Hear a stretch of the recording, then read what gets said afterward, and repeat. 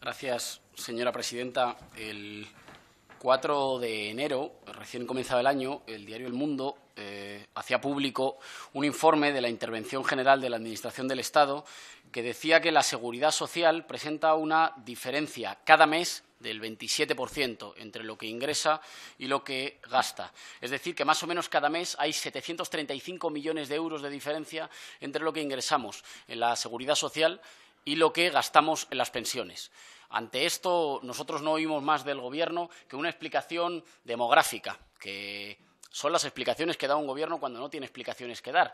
Cuando resulta que sube los precios de la luz en el momento de más frío y se incrementan en un 33%, es culpa de factores demográficos, es culpa de factores geológicos, es culpa de factores atmosféricos o tiene que ver con situación de otros, países. Cuando resulta que em, se denuncia que tenemos un grave problema de ingresos, no un problema de no un problema de cotizantes, un problema de quién eh, percibe pensiones, sino cuando se denuncia que tenemos un problema de ingresos, el Gobierno nos dice que es un aumento del de, eh, número de pensionistas y que a eso se debe y la única respuesta es que se tiene que crear empleo. El mismo informe de la Intervención General de la Administración del Estado decía que en 2016 el déficit de la seguridad social se incrementó en un 156% con respecto al año 2015.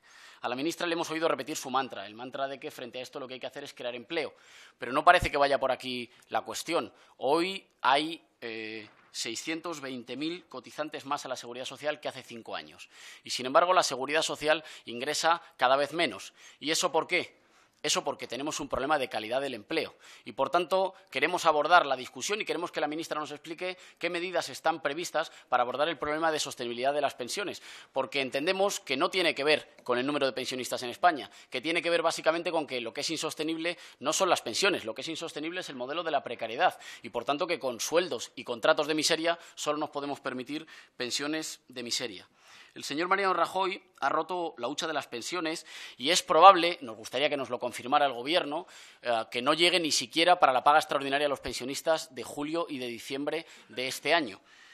La señora ministra ha introducido, y esto ya le abrió la puerta al Partido Socialista en su primera reforma de las pensiones, ha introducido un llamado factor de sostenibilidad que va a permitir congelar la subida de las pensiones a un 0,25. Congelar la subida de las pensiones a un 0,25 cuando los precios, como el año pasado, subieron el índice de precios al consumo en un 1,5%. Es decir, recortar el poder adquisitivo de las, pensiones. Ante todo esto, nosotros lo que queremos que nos expliquen es qué medidas están previstas para solucionar el problema de ingresos que tiene nuestro sistema público de pensiones. En nuestra opinión, está íntimamente ligado a la calidad del empleo, a la calidad de los contratos, al derecho a la negociación colectiva erosionado por las dos reformas laborales, la del Partido Popular y la del Partido Socialista, y a la caída del poder adquisitivo de los salarios. Nos gustaría que la ministra nos lo pudiera, nos lo pudiera explicar y que nos pudiera explicar, más allá de salir del trance de semana en semana o de mes en mes, cuál es la política del Gobierno español relativa a las pensiones. Hasta ahora conocemos cuál ha sido. Romper el pacto intergeneracional en España. Básicamente, ¿cómo? Recortando a los nietos y prometiéndole a los abuelos que nunca les iba a recortar. Si no recorto, si no toco las pensiones de los abuelos, quizá puedo seguir ganando elecciones. Bueno, eso ya no da más de sí, porque los recortes a las condiciones laborales de los nietos y de los hijos hacen imposible el sostenimiento de unas pensiones dignas para sus mayores. Queremos que nos explique cómo piensan ayudar a recuperar el pacto intergeneracional en España y el sistema público que se merecen los españoles. Gracias.